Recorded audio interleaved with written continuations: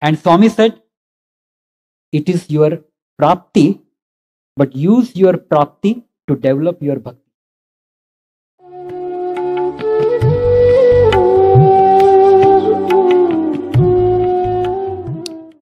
After I joined in 1995, the Swami goes one step ahead in teaching, right, as you go ahead. So the first interaction happened somewhere in August or I think July of 95 when I joined. And uh, Swami was going in the darshan hall. He had gone behind where the presently the Rama statue is there. Some work was going on, and he was coming back, and I was sitting on the path. And as I, he, as he came near me, he asked me a question. Kidhar se? Where, where, where did you come from? The actual word Swami used was, where did you come from? And the natural reply I gave was, Mumbai, Swami. Swami just heard didn't say anything went away. That was the first ever interaction of mine with bhagwan as a student. This was in july or august of 95 in december of 95 i got another golden opportunity to come closer to bhagwan is when there was an international medical conference organized in Prasanthi and Swami was selecting students to serve the delegates who would come. And one day it happened during darshan when he sent warden to select students. So the, the warden selected a student who was sitting right next to me. And uh, those days, the term which was typically used was the form boys. And typically, he had picked up about seven or eight form boys whom Swami would speak to often and call them to interview room. He picked up this boy who was sitting next to me. He was one year senior to me. He went ahead and the warden looked at me and said, come and asked me to go. And I went and I realized even I have to go to interview room. I thought it was prasadam distribution, but actually it was going to interview room. And I had no clue what was it for. So as I entered, I realized that it was for preparation for the International Medical Conference. And uh, Swami was selecting students to serve the delegates.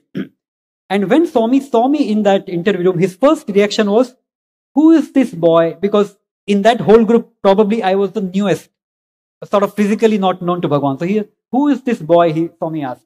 And before we could reply, somebody came and Swami spoke something else and the session continued.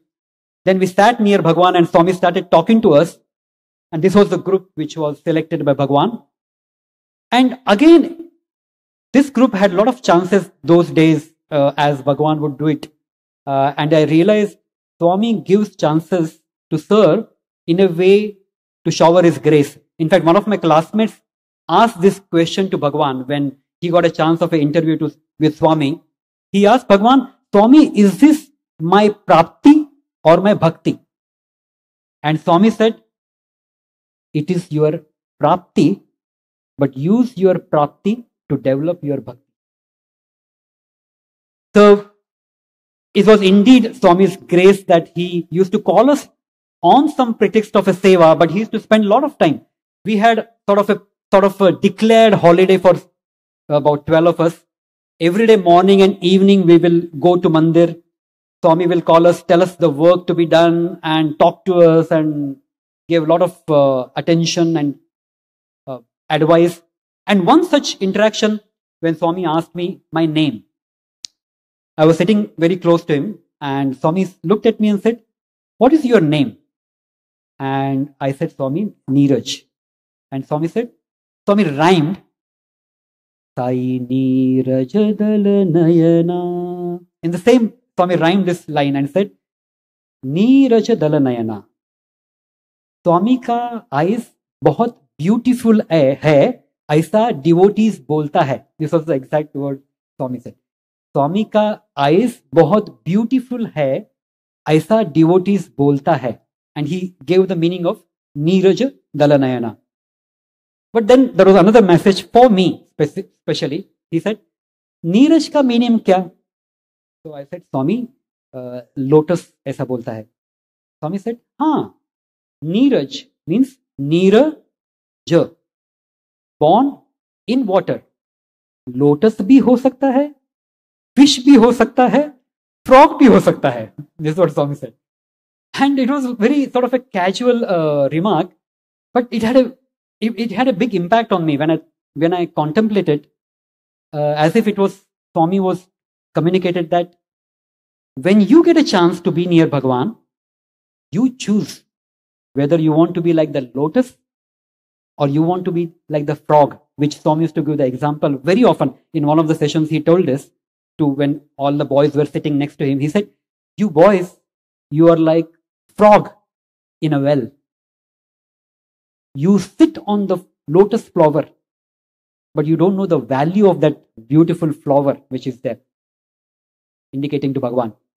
But devotees, like honeybee, come from far away, sit on the flower, take, pluck, take that, choose that uh, honey and go away. If you remain like that frog, you will lose the chance. So, Swami sort of indicated to me that it is your choice. You want to be like that lotus, be in the world, but not of it. Still remain focused on Bhagwan, on his nectarine words. Or you be like the frog who goes around in the, or the fish which goes around eating insects or whatever without knowing the value of the lotus. So that was, that was another learning that I got from that particular episode.